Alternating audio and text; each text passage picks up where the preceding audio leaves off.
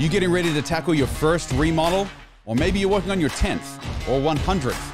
That's all great, but you've always got to work with a general contractor, and there's three levers that a general contractor is going to use in the negotiation. Let's talk about those right now.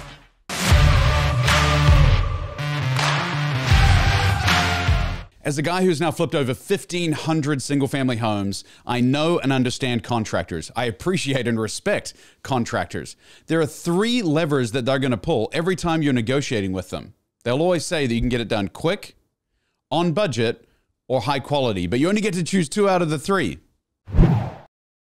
Now, I'm a guy who wants all three. I'm not going to settle for just two out of three. So, how do I go about getting that?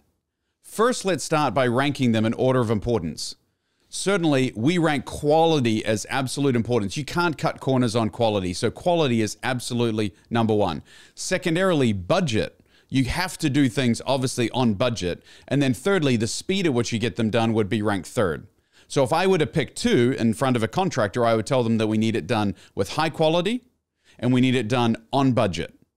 Now, with regard to speed, you can kind of control all three because when you're talking with a contractor and you say you need it done in, in a month, or in two months, you can budget on your own pro forma income statement to give some leeway there.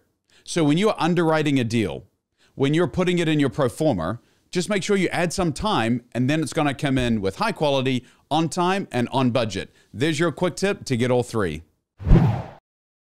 But that's my take on it. If you're a house flipper or a contractor, give me your two out of three. If you could only pick two out of the three, what would you choose?